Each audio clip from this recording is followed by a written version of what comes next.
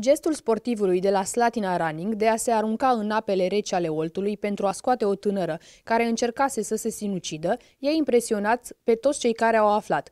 Colegii de echipă îl consideră un erou și sunt mândri de el. Uh, este un, uh, este un băiat care prin gestul lui clar ne-a dovedit că uh, nu se dă înlături de la nimic. Pentru el a fost un lucru foarte bun. Să intri în apă la ora aceasta, temperatura care este, un lucru foarte mare pentru el.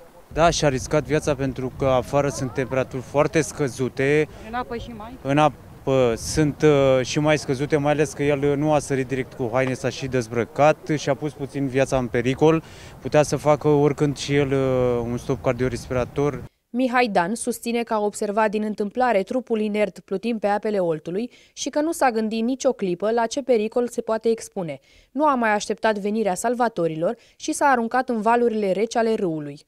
Am văzut în partea dreapta mea niște pescăruși, exact cum fac și ciorle, au și ei zgomotul lor, pescărușii.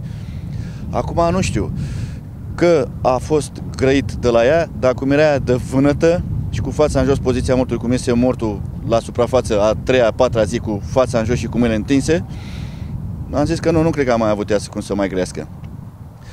Și am stricat pe aici la paznice după la plaja Olt, până au venit paznicii, am mai întâlnit încă două fete care aleargă și fetele cu noi, le-am făcut semn la, să dea un telefon la 112 și să vină salvarea. Între timp eu m-am dezbrăcat din fugă și nu am mai ținut cont de nimica.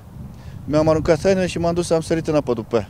Deși a avut două momente extrem de dificile pe parcursul scoaterii tinerei, cel care a devenit erou susține că dacă ar mai fi nevoie, ar repeta oricând gestul. În opinia sa, nu a făcut altceva decât ce ar face orice om pe care Dumnezeu l-a scăpat din ghearele morții. Am avut și eu acum câțiva ani în spate un accident și exact tot de, de, în decembrie, aproape de Crăciun.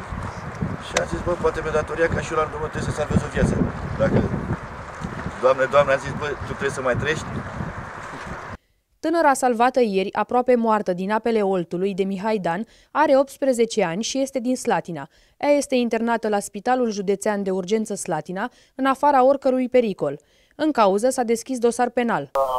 A fost uh, internat de urgență prin, în uh, secția terapie intensivă, prin secția de medicină internă.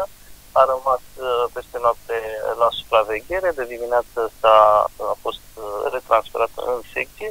Starea ei de sănătate, în momentul de față, este în afara oricărui pericol dar prezintă în continuare simptomele unei agitații și unei stări extreme de agitație.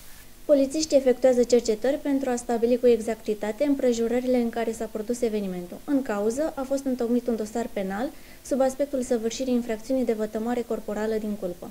Conducerea ISU Olt l-a premiat astăzi, în cadrul unei ceremonii, pe salvatorul tinerei care a încercat să se sinucidă, apreciind astfel gestul acestuia ca fiind unul deosebit.